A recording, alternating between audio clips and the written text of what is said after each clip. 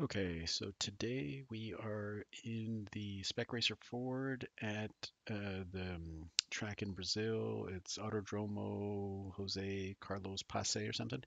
Um, basically, the Brazilian Formula One track you may have seen on TV in races. Uh, so we'll just do a, a lap around the track just to show what's going on here. So here we are down the front straight into turn one. We have a chicane here. It goes downhill, kind of off camber. Um, and leads onto another straightaway. Uh, get slightly better camera angle here. Um, leads, onto this straightaway. So both those turns are a little difficult that we've gone through there. Uh, let's back it up a tad. So okay, we're back on the front straight, coming back into these turns again. So braking here is pretty important. Uh, getting the braking just right, getting turned down in. You kind of want to be on the inside curb here. Turn quickly back to the right and use up all that curb so you can be fully on the throttle as you come onto here. I like to keep it pretty tight on top of the curbs too, but it doesn't really seem to be that important to be that far inside. Um, we have a long straightaway here, again, important for drafting. And then you come in. This is a kind of a tricky turn. You got to brake hard, downshift twice, inside tires on the inside curb, drift it all the way to the outside, uh, but not too far because you'll get an incident if you get uh, over that little curb there. It's really easy to do. Here, we brake a little and, and we can downshift here if you time it just right. Back on the throttle hard. Try to keep it on the track to the outside here. Downshift again. We could use a little more curb. That wasn't the greatest turn there. This is tricky. This is a cambered kind of slow turn. Getting back on the throttle hard. Oh, we didn't get our whole lap in. Uh, that wasn't the greatest demo lap. But there's a, another tight hairpin that leads on the front straight, and that tight hairpin is uh, an important one to get right. Uh, looks like we're lining up here for the race.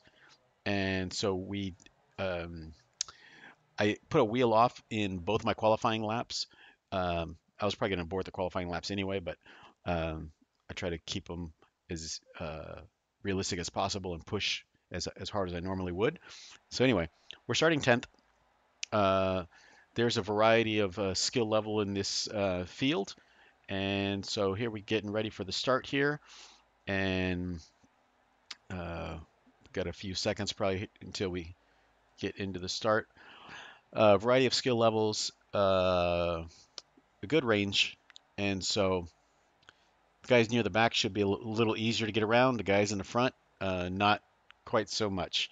Um, so this should be fun. Done a couple races this week on this track, and so got a little bit of experience here. I think we're getting ready. So I'm trying to get my launches better. I've been working on the clutch bite point, and I think I got it pretty decent. Got a tiny bit of wheel spin, but not much. And you can see that really helps us get a good launch. So I decided to dive it up the inside. Switch camera angles here so we can see a little better at the beginning. Um, so we got by like about four cars there right at the at the start by getting a great launch. So now we are slotted into sixth here.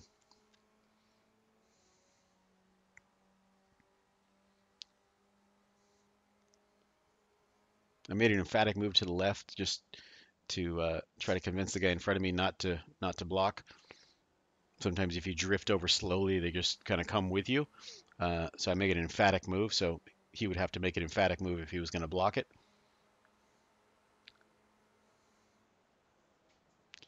You can see kind of different lines, different braking uh, going on there. The lead car there locked up under braking. Now we're getting some side-by-side action but out of the, the two leaders there.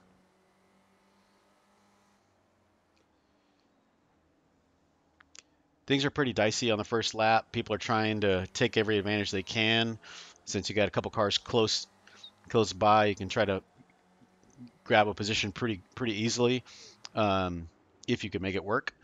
Uh, but it's sketchy to do because uh, cold tires, everybody else is thinking the same. They may not see you in your mirror in the mirrors, they may see you and think they can convince you to not make the move if they chop down.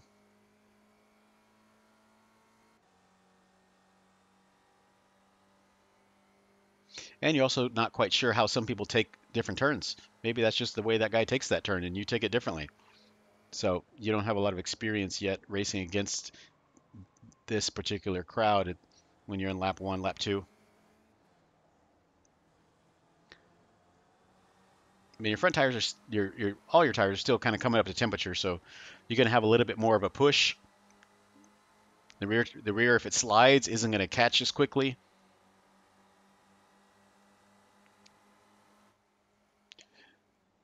So I got by that uh, three car. Now looking to see if I can get by this this seven car here.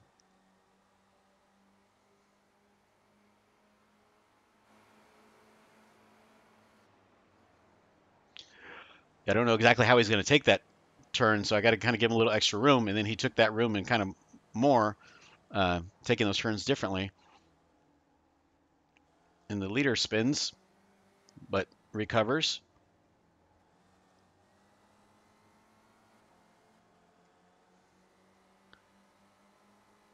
So now, got these two guys side by side, so they're slowing each other down a little bit.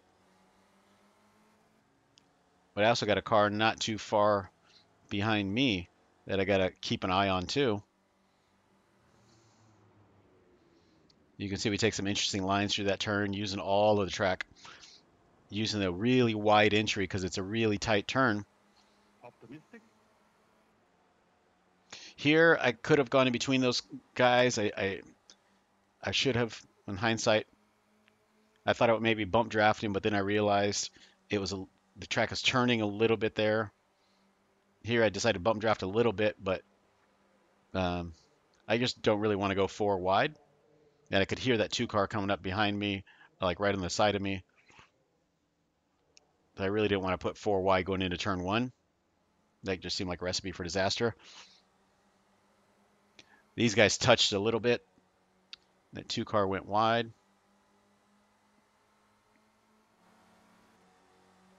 Again, decisive move to the right.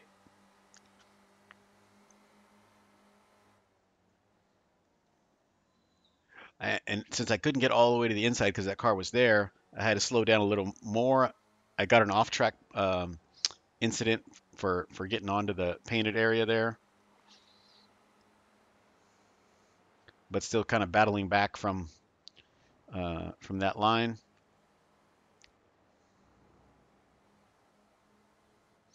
So running side by side is quite tough because you got to change your line. Uh, you got to brake a little earlier, turn a little less or more depending on um, if you're on the inside or the outside of that turn. You're getting on the throttle a little bit differently.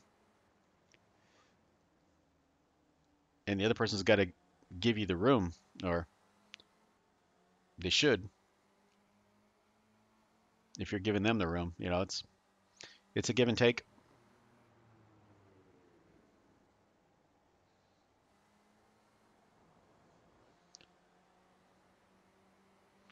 So again, we didn't get the greatest uh, exit of, out of that uh, kind of tight hairpin that leads onto the front straight because we had a car to our inside. So that seven gets a pretty good run, and this next other car, what is this? The two car gets a great run as well. Now we're going three wide down the front straightaway. And at this point, this is kind of not where I want to be, right in the middle of two cars going into turn one. Uh, luckily, the guy on the inside sort of uh, thought better of it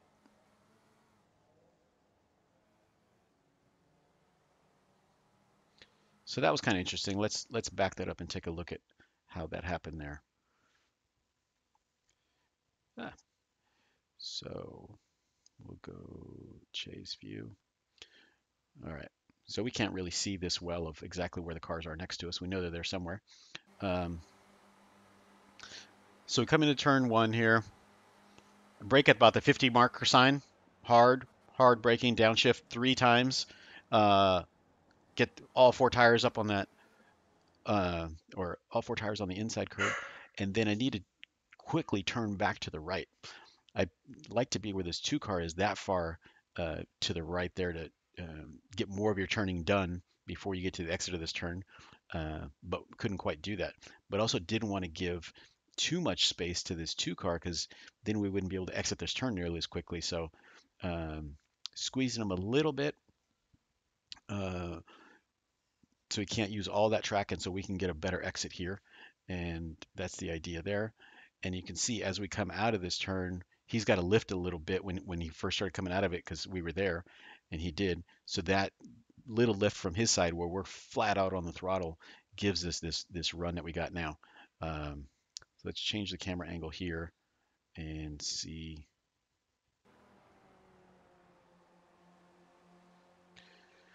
So now we finally got a little bit of a gap. We got about a half second gap.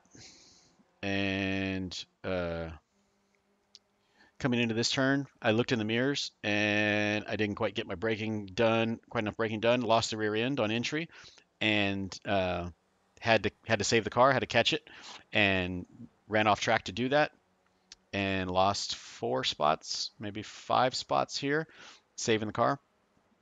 Um,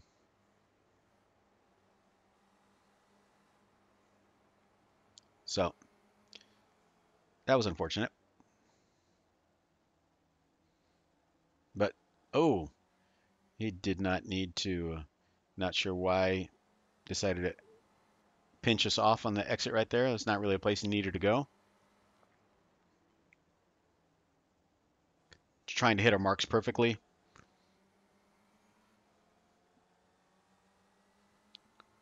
This car's bouncing around a little bit in front of us. He kind of hopped on the inside curbs, trying to keep my momentum here.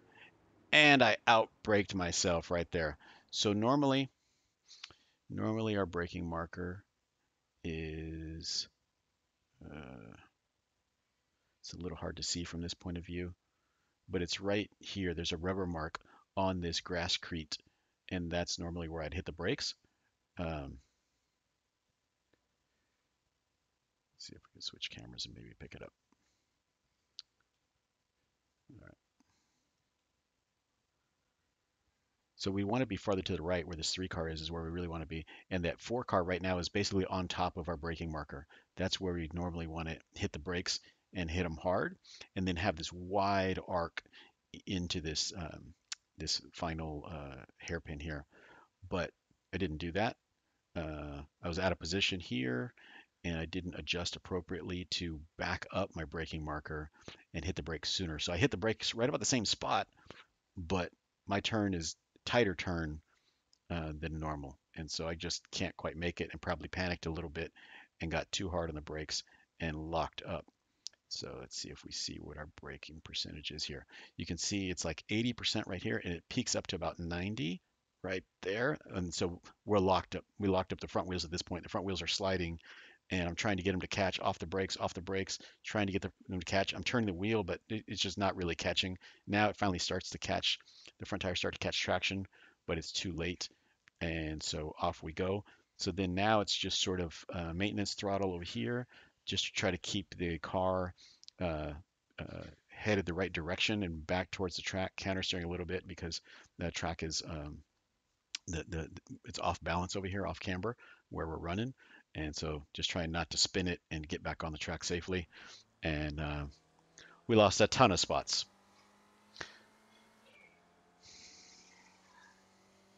So that wasn't great. So let's see where we are here position wise. We are in uh, 10th now. So I think we are in first like a lap and a half ago or something. Uh, and now we're over here fighting for 10th. And we have another off. So let's analyze this one. So we had gone off back there. The 12 car saw that and, and passed us here, uh, but we're coming here to pass them back. So let's see how that happens exactly. So, all right should be a decent angle. Okay, so we are drafting them down the straightaway. And as we come down the straightaway, we're coming back to the uh, 50 marker, getting on the brakes hard, come on the inside here, um, downshifting twice, uh, pulling onto this inside curb. Oh, he's starting to squeeze, we could see it. and there's no room. Uh, so there's all this track, all this track over here from this edge of the paint to this white line. Uh, and I'm passing him on the inside. Surely sees me in the mirrors or the big rear view mirror or something, but still decides to turn left, even though there's a car to his inside. And he would have heard there's a car to his inside at least about here, but he would have seen it in the mirrors um, before that that I was coming. Uh, so coming here, under braking, trying to leave him as much space as possible out there.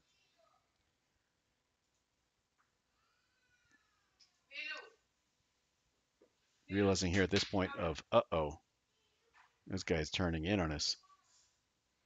Keeping it all on the curbs. Look, I'm all on the paint. All four tires on the paint. Uh, but I guess that wasn't enough track space, and so uh, he pinched us off there. Not sure if that's uh, on purpose or lack of presence or brain fart or what, but I wasn't really happy about that.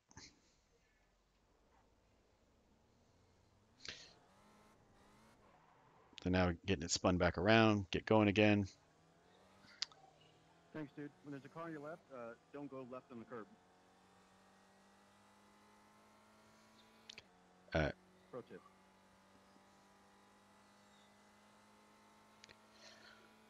So, um, yeah. Let's skip ahead. Uh, this is lap six. Oh, I think we had somebody there next to us. I thought I saw something.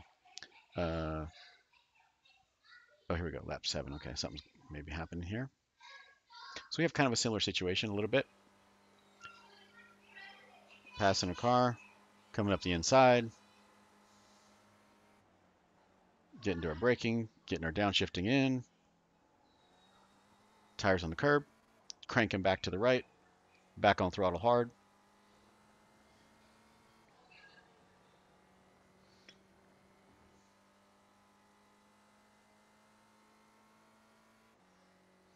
So uh, let's skip ahead again. We're on lap nine. Oh, oh, interesting. So this is lap 10. It looks like that same 10 car is still uh, right nearby. It's like we had accidental bump or something there. Uh, he dives it in there and loops it around. I remember this now. So let's watch this. So we're coming in here. He's already smoking a tire. He, he uh, smoking the left front a little bit. Um, over there you see some more smoke. Uh, so he's overshooting his braking. He's locking it up. Not getting the car turned as much as he needs to. We're getting our car turned basically like normal. Um, and so he goes sliding off the track. He's just carrying too much speed. The, the, the tires can't hold uh, that much speed going through that turn, and so he turns it more, but the, the front end's just sliding. And so now he gets all four tires onto the grass, the rears especially, and loses the rear end, but keeps on the throttle. And uh, I just didn't react quickly enough uh, to try to get out of the way of that. It's pretty hard you kind of can't see it from the in-car view if we switch to that angle. Um, so from the cockpit, we see him there. And we see him over here on this side. And then I'm not sure. I know I got to make that turn. And I straighten out a little bit, try to give him a little more space, but uh, it just wasn't enough. Um, and also, I'm not sure if I'm just going to kind of get lucky and maybe be able to slide by just before he finishes spinning or he spins this far towards me. But I think him being on the throttle kind of shoots him back onto the track. And so, uh, yeah, that's what happened. Uh, so anyway, uh, now we are going it's lap 11. Uh, let's see, lap 12. I think we got 14 laps total. Uh, there's lap 13 and 14. There was nobody in front of us, so nothing else interesting really happened. It doesn't look like, or this is the beginning of lap 14. Uh, and here's the uh, yeah. So anyway, let's look at the results. Um, we started 10th and we finished the race 9th. Had some fun though. It was it was definitely fun in the beginning. These guys at the top are good. Uh, Bob is good. I raced against him a few times.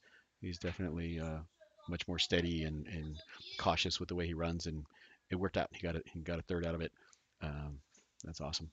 Um, so it was fun. A little frustrating, but uh, the, the, the first like six laps or so was was awesome. I had a good time with that. Uh, let's look at our lap times. Uh, let's see here. Fastest lap was lap eight. Uh, that was after we made a mistake after we went off. I think we went off here on lap five or so. Um, got down to 149, 108. So not super consistent. Um, but oh well, that's fun. Thanks for watching.